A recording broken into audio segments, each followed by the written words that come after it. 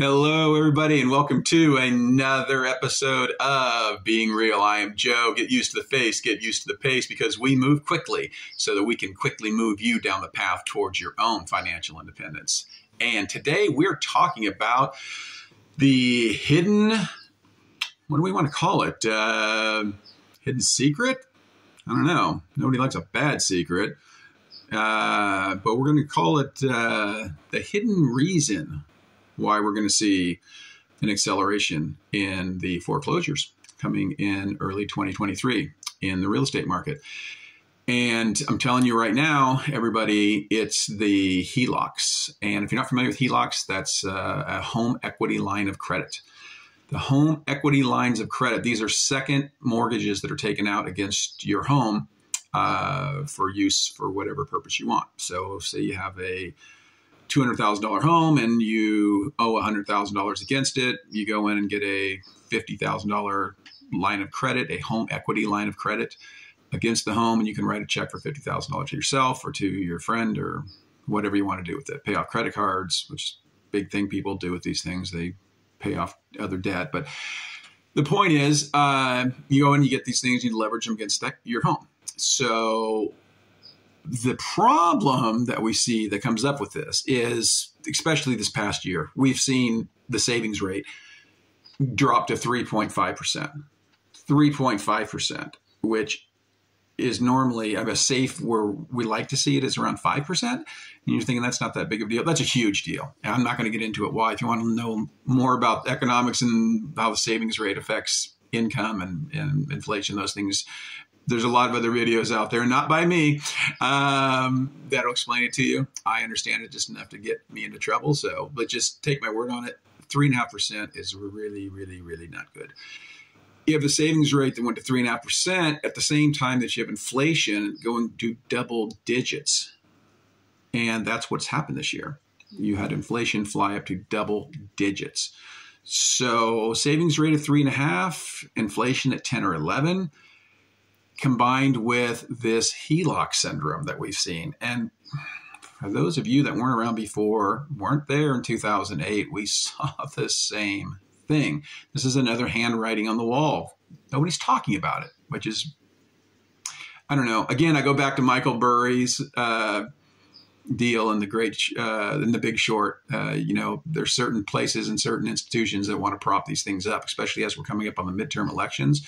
Neither side of the aisle want to see the real truth bear out before the elections and that's one of the reasons i believe that no one's really really concerned about this because you're looking at home equity lines of credit in the first quarter i believe is the first and second quarter I, I stand corrected first and second quarter of 2022.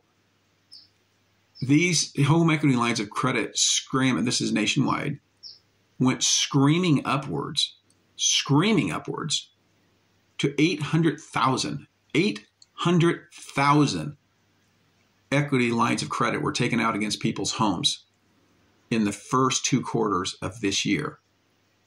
This is as the correction was just starting. This is as the economy was just starting to hit the tank. Remember, they're talking about quarters two, the second quarter, and everybody's saying is that when the recession was going to start. Well, a lot of people were smart and ran out, like I always tell people, get an equity line of credit when you don't need it, because when you do need it, they won't have it.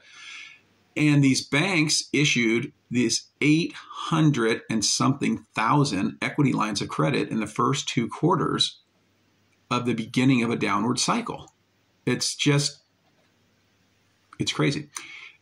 By the way, this 800,000 uh, equity lines of credit is over $100 billion. Honestly, I think it's a 130 billion, 130 billion dollars uh, is lent out on a depreciating asset. 130 billion dollars was wisely lent out on a depreciating asset. Yeah, highest rate since 2000 and when seven which was the year prior to the collapse. Right. 2007. What happened in 2008? Everything went completely sideways.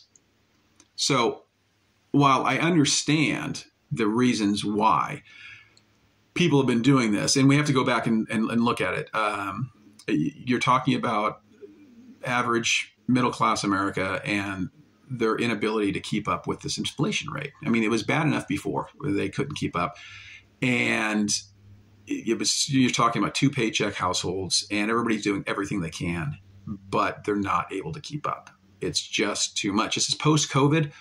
Um, and post COVID, the inflation rate's going up because everybody went back to work, and what they're doing is spending a lot more money. Spending a lot more money creates inflation, so forth and so on, blah blah blah. But you have this cycle that has started, and then folks run out, and to make up for that offset or that difference, and most of the time it's debt. They're creating, they're not taking money out of their home and spending it at the local county fair. They're paying off debt that they've created. They've run up their their Visa cards, they've run up their Mastercards, their American Express, whatever it is. It's not un, not at all, not at all unlikely to see people running around with ten, twenty thousand dollars in credit card debt. And you'd want to get rid of that. And they have these great introductory offers. That, you know, they give you one percent for the first 180 days or whatever it is on these things, and you've got twenty thousand dollars in credit card debt bringing up at 22% or 18% or whatever it is, and you can get that reduced down to 1% for the next six months, it's a no brainer for most people. The problem is you've now accessed the equity in your property and you don't really have a plan on how you're going to repay that because you're still just struggling to get by. So, this is what has happened. You're living paycheck to paycheck, and the home equity lines become available because property values did what? They went up because of the COVID and the lack of stuff that was on the market. Inventory was low.